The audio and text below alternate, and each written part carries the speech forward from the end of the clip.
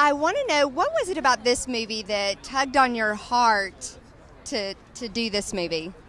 Um, I uh, had worked with Randall Wallace and We Were Soldiers a few years ago and had a wonderful experience with him. And he uh, he told me about the story. I hadn't read the book, and he uh, he he proceeded to kind of lay the, the journey out of Todd and, and what happened to his son and and what the story was. And I, I thought, well, whether that's a book or not, that's that sounded like an interesting movie.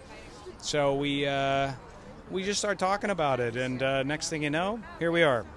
Did you feel like you could connect to Todd at all? Any experiences he had? Did you have a connection? Well, I'm, I'm from a small town in Indiana originally. He's, uh, as I say, he's a, a garage door repairman, a wrestling coach, a volunteer firefighter, a pastor, a father, a husband. Uh, you know, a guy who wears a lot of different hats, and that, that rung true to me. Uh, you know, that just felt uh, honest to me. And he's uh, you know, he's he's struggling. He's going through some financial diversity at the beginning of this movie, and uh, uh, kind of spoke to me just basically in the I don't know, just that that that difficulty of him being a, a guy trying to care for his family.